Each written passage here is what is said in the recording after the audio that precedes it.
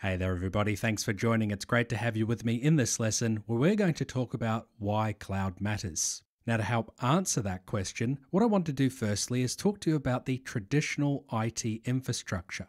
How did we used to do things? What sort of challenges and issues did we face? And therefore, we'll get a better understanding of what cloud is actually doing to help we can look at how things used to be and how things are now. So, what we're going to do throughout this lesson is walk through a little bit of a scenario with a fictitious company called Aus-E-Mart. So, let's go ahead now, jump in, and have a chat about the issues that they are currently facing. Aus-E-Mart is a fictitious company that works across the globe selling a range of different Australia related paraphernalia, maybe stuffed toys for kangaroos, koalas, and that sort of thing. Now, they've currently got several different applications that they use that they provide access to for their users. And currently, the Aus-E-Mart team do not use the cloud. So, when we have a look at the infrastructure hosting these applications, we'll learn that Aus-E-Mart have a couple of servers, one server for each of the applications that they've got configured. Now, the Aus-E-Mart IT team have had to have gone and set up these servers with Windows, the applications, and all the different data that they need for these applications to work. And what it's also important to understand about the Aus-E-Mart infrastructure is all of this is currently hosted on their on premises customer managed infrastructure. So, yes, the Aus-E-Mart team could have gone out and maybe used a data center provider, but the key point here is that the Aus-E-Mart IT team have had to set up servers, operating systems, applications, and a range of other infrastructure to support all of this storage, networking, power, cooling. Okay, these are the sorts of things that we have to manage traditionally before we were able to use cloud. Now, to help understand what sort of challenges that might introduce, let's walk through a scenario. We're going to say that the Aus-E-Mart CEO has gone and identified the need for reporting to be performed across these two applications. And the CEO wants those reports to be up and ready by the end of this month. Let's say that's only a week away. So the CEO has instructed the finance manager, and the finance manager has said, Hey, awesome, you know what? I've found this great app out there on the internet called Reports for You. We can buy it, download it, and install it. I'm going to go tell the IT team to get this up and running straight away.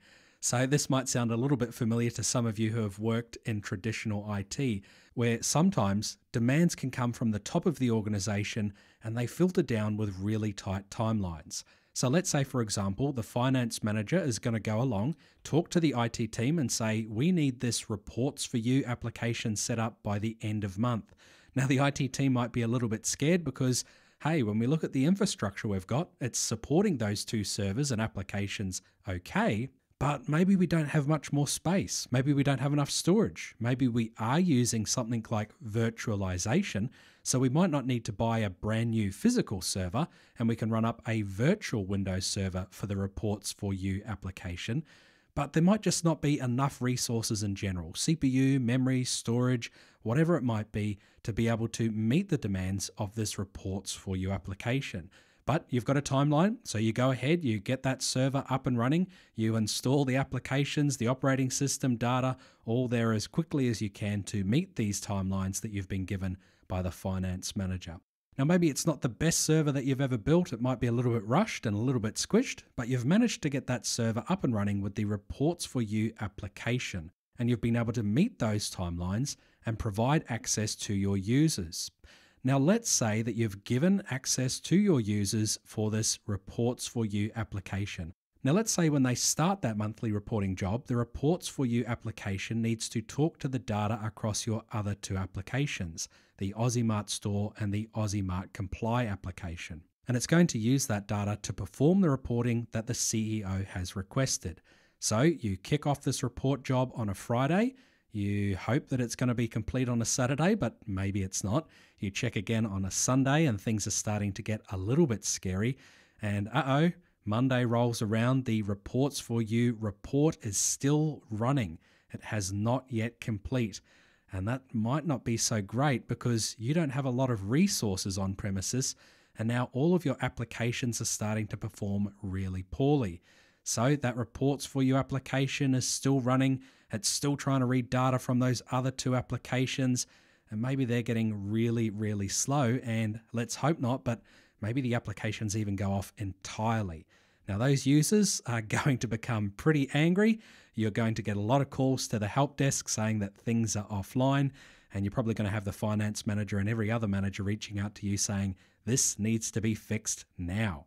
So let's say you manage to push through, perhaps through the rest of Monday, and that report finally finishes. You clearly need more resources to be able to run this report much more quickly at the end of each month so that you don't have angry users. So, what are you going to do to fix this for the next month when you need to run the report again? Well, you might have a think about ordering some new software and hardware because you clearly don't have enough hardware on premises right now. You're going to have to wait some time for all of that to be delivered, and then you're going to have to physically install it, set it up, get it running, and make sure that you've got everything you need for reports for you to be running with more CPU and resources next time. There's a lot of different work that you need to do. This is one of the traditional IT challenges that we might face when the business has demands and expectations for things to happen quickly. And it's not really necessarily the CEO or the finance manager's fault. They are focused on what the business needs. And when you work in the technology teams, you need to do what you can to support them so that the business can succeed. So, how might we do that a little bit differently with cloud? Well, with cloud, we could sign up for a cloud provider we could turn on and off servers as needed, and we could scale up and scale down, scale in and scale out resources, all to meet those demands on a monthly basis. So that could be a lot less work to do, and it could certainly provide you the ability to respond much more quickly to the demands that come from the business. And rather than having to go out and buy all of this new infrastructure that you are only going to use once a month, well, as we're going to learn throughout this course, one of the many benefits of cloud is that you can turn things on and off really quickly and only pay for what you need. So, what might this look like with cloud? Well, with cloud, what we might do is no longer have that on premises rushed server that we were using for reports for you.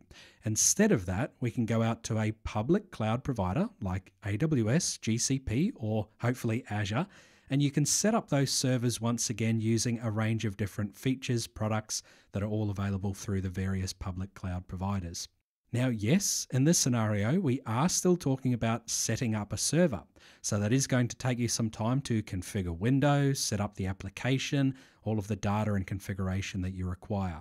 But at least you don't need to worry about the actual physical infrastructure that is supporting that server. You don't have to go out, talk to your procurement team, talk to different providers, wait for different physical infrastructure to be delivered and licensing and software and other assets. With cloud, as we will learn, you can really quickly get online and up and running. And also, if we had that need to ensure that the reports for you application was running with lots of different resources at the end of the month, it's much easier when we use cloud to just go and turn some servers on and then maybe turn them off at the end of the month when they are no longer required. This is the sort of thing that we are talking about with cloud. We're only really just touching on the surface about what cloud can do and what cloud actually is. But my hope is that through this lesson, you can understand how cloud changes things. Cloud allows us to work with technology in a much different way than we traditionally would work with our on premises infrastructure. Another example that shows how cloud is different is that rather than using the Reports for You application, what we might in fact actually choose to do is go to a public cloud provider and go to someone that actually has a equivalent Reports for You solution that's entirely built in the cloud ready to go. In this way, not only do we no longer have to manage the underlying physical infrastructure, we don't actually have to manage the application software, installation, configuration, and all of that server setup. With something like a reporting software that's built in the cloud, we would just provide access to our users and only have to pay on a per user basis. So if you've used something like Zoom for meetings or Dropbox for data sharing, that's the sort of solution we're talking about. So if we consider this scenario for Aus-E-Mart, we have a think about the benefits that they might access when they use the cloud. Well, we can much more quickly get access to resources to respond to demand. If we need to have a lot of different compute capacity working at the end of the month, with cloud, like you'll learn, we can easily get access to that. If we wanted to add lots of users, we could do that much more simply as well. And something that the finance manager might really be happy about in this scenario is that we aren't going to go back and suggest to them that we need to buy a whole heap of new physical infrastructure right now. When we think about traditionally how Aus-E-Mart would have worked with this scenario, they would have to go and buy some new physical servers, resources, storage, networking, whatever that might be, to meet the needs of this reports for you application. And really, they're probably going to have to strike a balance between having enough infrastructure to ensure that the reports for you application completes its job quickly and not buying too much infrastructure that's just going to be sitting there unused whilst the reports for you application is not working. And really importantly, when we go to cloud, we see this difference as not having to buy lots of physical infrastructure up front as being referred to as capital expenditure versus operational expenditure. Really, what we're just saying here is rather than spending a whole big lump sum all at once to get what you need, you can just pay on a monthly basis for what you need when you need it. And finally, one of the other benefits that you'll also see is that we're getting a reduction in the amount of different tasks that we have to complete in terms of IT administration, setup of operating systems, management of physical infrastructure, what the procurement team has to manage, and so on. Again, right now we're just talking really high level about a fictitious scenario for Aus-E-Mart to help you to understand the types of things and the types of benefits that we can get access to for cloud. So, hopefully, if you're embarking on a cloud journey, you're going to have a happy finance manager, CEO, and other team members that you're working with as well. Okay, everybody, so that's a wrap to this lesson on why cloud matters. As I've said, we're really only just scratching the surface. This is just to introduce you to a scenario that can help you to understand the types of benefits we get access to with cloud. As we move throughout this course, we'll progressively dive deeper in terms of what cloud is, how you define it, the features you get access to, and other common concepts and terms. So thanks for joining me. I'll see you there.